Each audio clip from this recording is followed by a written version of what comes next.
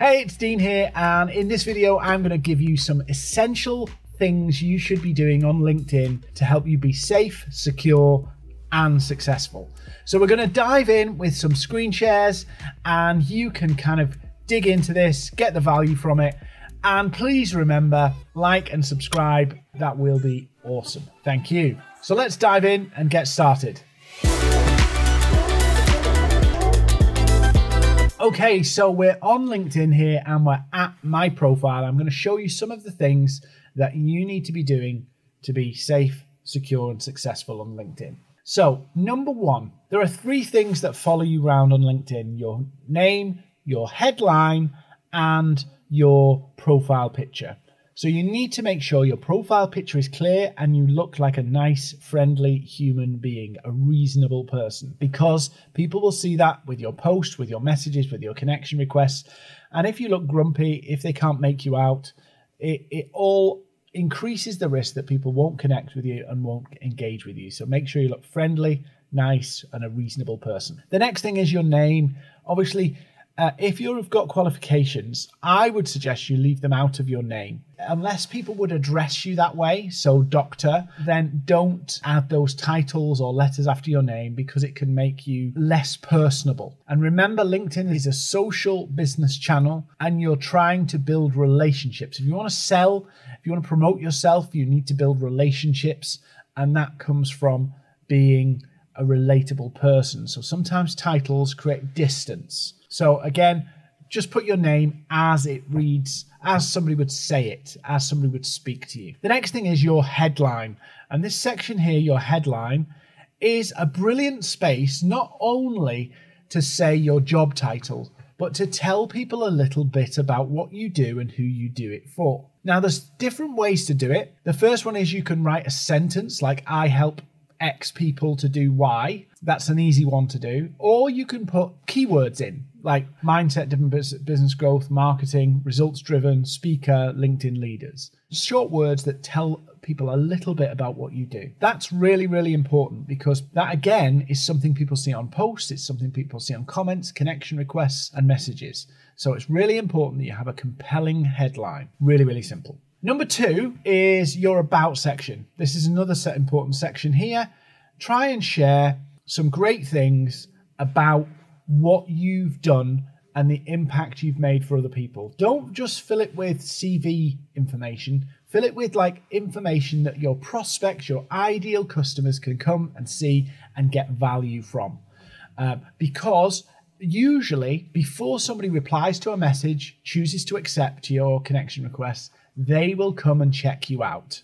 So it's really important that you build that section there and make sure people can see a bit more about what you're about. Next section I want to look at is the featured section. Now, the featured section is where you can post and fix key pieces of content or web links or blogs or videos that you want people to see. They're very, very prominent. So if you've got key things you want to share, these are the places to do it. So as you can see here, I've got free training, my LinkedIn Elite program, and a video an article I did about the six principles of persuasion. Now you can add more, so you can add a post and pin a post effectively to the top, articles, links, or media, so a document or something like that. And you can edit them as well, so you can edit what appears and change them. It's really, really simple to do. That's a really important section for you to help profile and get traffic to your key pieces of content that can help you get interest. Next, we have the dashboard. Now, the dashboard is where you can measure your stats. This, this box here, the search appearances, is the people who found you and where they're from. So, in the last week, 4,996 times I've been found in searches or I've appeared in searches. And these are the uh, companies where these people who've been searching work. These are some of the titles of, of the people that have been searching, and these are some of the words and keywords that they've been using. So, this again is really important to look to go are the right people looking at me? Are the right titles looking at me? And am I being found for the right keywords? And to change the people who are searching, you simply change the keywords on your profile. And the keywords are in your headline, in your about section, through your experience. And literally, if you want to be found more for marketing, increase the times that the word word marketing, meaningful times. You can't just dump copy and paste 500 marketing words on your profile. The keyword is found on your profile. So increase the keywords and you will get more people looking at you.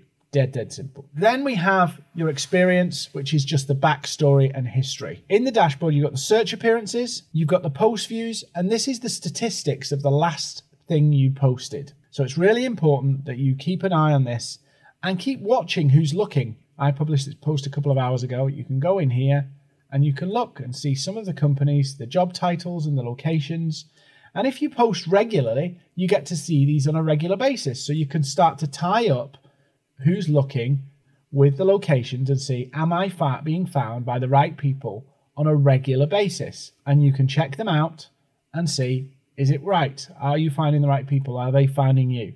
So it's important to post regularly, not only to get your message out there, to get your information out there, it's important to post so you can see who's who's looking and who's finding you. And again, you change the content and it will give you a completely different audience. So it's important to keep using content as a way to see who's interested, who's engaging with you, and all of those things. Then we have the who's viewed your profile. Now, who's viewed your profile is a great way where you can track your performance. So over the last couple of weeks, my performance has kind of climbed down a little bit, but this is a way to, to plot the trend. So my trend's been going down the last few weeks.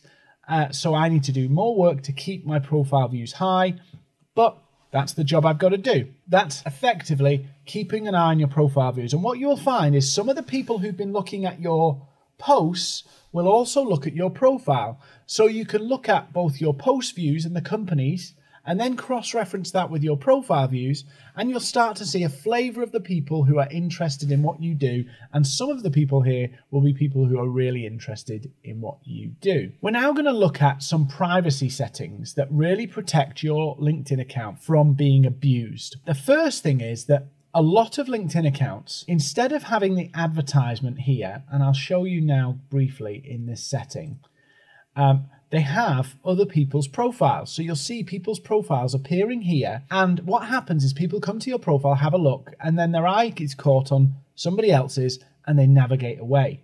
You need to make sure that this setting is turned off. Now mine's already turned off, but I'll show you how you do it. You go to start menu here, uh, to the profile picture here, settings and privacy, and then we scroll down to viewers of this profile also viewed, and you change it to no. I'll change it to yes so you can see what happens. But you would change this to no. When I flick back to my profile and refresh, now you can see people are being suggested on the right hand side as people that I should be connected, people should also look at. Now, the problem is here, generally speaking, what who appears here are customers, competitors, and colleagues. I don't want my competitors promoted on my profile. I don't want my customers promoted on my profile. And I'm not so fussed about my colleagues being promoted on my profile. So we need to make sure that that setting is off. And I've just reset it and put it in here to make sure that it's gone again. Now, the other setting that you need to lock down is we've all had a cheeky stalk of our competitors and we've had a look at what they've been doing and seeing who they've been interacting with. We've all done it. What you don't want to do is be a business development tool for your competitors. So I'm going to show you a setting now that will help prevent you from being found or used as a business development tool. So we go into settings. You see here on your profile, you've got your 500 plus connections. One of the default settings on LinkedIn is that it allows your first connections to see who you are connected with. So in here, you can click them, or if you're connected to certain people, you're you can click and look through their connections. So you could connect with a competitor, or a competitor could connect with you, and if you have this setting on, they can look through your connections, which could be customers. So we don't really want that. So again, we're going to do uh, a quick change. Mine's already locked down, but on your own profile, when you're logged in as yourself, you can click it. But if you look at other people's profile and this is blue, it means they've left that setting open. So again, you don't want this for your profile. So we go in here to the settings and privacy. We go, who can see your connections? And you change it to only you, only you. And again, when you go back, you'll still be able to see it, but whenever anybody else sees it, they won't be able to see your connections. So one final thing uh, I'm going to check on this video, uh, really, really simple thing on this video, and it is this. On your dashboard here, you should have an all-star status. If you don't have this, you will have a progress bar around here that basically says intermediate or beginner. This feature, all-star feature, is very easy to get, but most people ignore it. What it does is it elevates your profile above intermediate and beginner accounts. So you'll get found more, you'll become more visible on the platform. So it's really important that you follow the steps. If you've got the progress chart here, you follow the steps, which is just simple things like adding some work history and schooling and education history, really easy stuff to do that just elevates you above the majority of uh, well, intermediate and beginner accounts. Really, really simple things to do, but it's it's absolutely uh, transformative to the visibility of your account. Now, some final tips to help you be successful on LinkedIn. Number one, do not connect and pitch.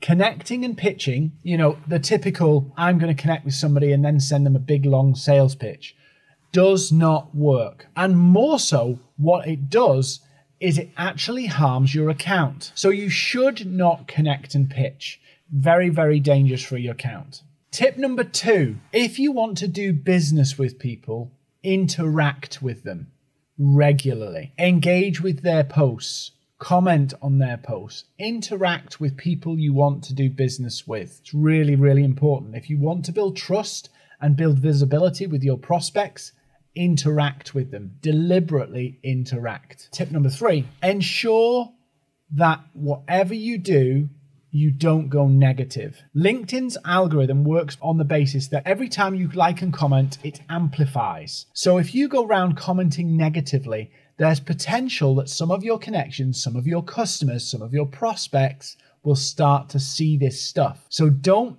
turn negative. Stay positive. You don't have to be all in the fluffy clouds and everything, but don't troll, don't be abusive, don't be aggressive. Stay away from controversial topics, politics, so that you're not alienating any audiences. It's really, really important that you just build and be a nice human being on social media. And if there was one more tip I would give you, it would be this. It can get very exciting on LinkedIn when you can see all the people you can potentially work with and get, generate business with.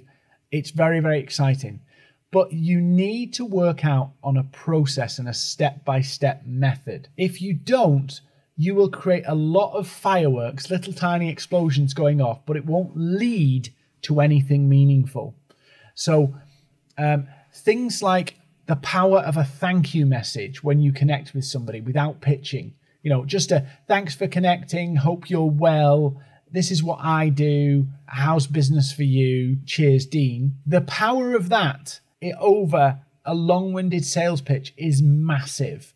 So have a process, engage with people, connect with people, thank them for connecting, keep engaging with them, keep interacting, share content that will help them in the area that you provide a product, service, or solution to. Real simple stuff, but have a process. I've got my seven step process, which I teach on my Sales Navigator social selling course, but you might adapt and make your own process. But the key components of it are building relationships and having a process to take people on a journey to a sale, not try and convert people to a sale.